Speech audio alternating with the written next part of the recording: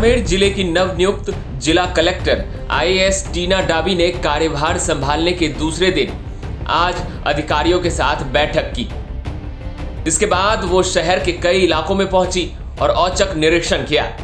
निरीक्षण के दौरान जिला कलेक्टर टीना डाबी ने सफ़ाई व्यवस्था सुधारने और क्षतिग्रस्त सड़कों को जल्द ठीक करवाने के निर्देश दिए। दरअसल, एक दिन पहले ही आईएएस टीना डाबी ने बाड़मेर जिला कलेक्टर के रूप में ज्वाइन किया। तो उन्होंने करीब आधे घंटे तक पत्रकारों से चर्चा कर शहर और पूरे ज़िले की मूलभूत समस्याओं के बारे में जाना।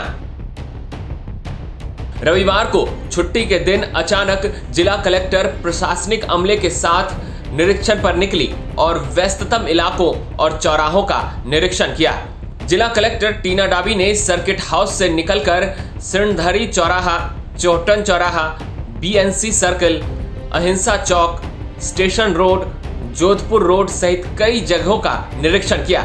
इस दौरान जिला कलेक्टर ने नगर परिषद आयुक्त विजय प्रताप सिंह को बाड़मेर शहर में सफ़ाई व्यवस्था सुधारने के निर्देश दिए।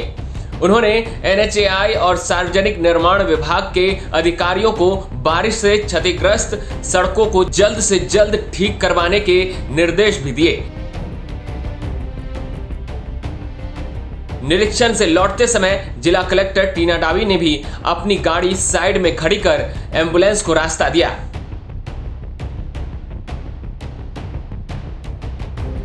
इस दौरान उनके साथ अतिरिक्त जिला कलेक्टर राजेंद्र सिंह चांदावत, सार्वजनिक निर्माण विभाग अभियंता सूराराम चौधरी, विकास अधिकारी बाड़मेर ग्रामीण अतुल सोलंकी, पुलिस उपाधीक्षक रमेश कुमार शर्मा सहित अन्य विभागीय अधिकारी मौजूद रहे।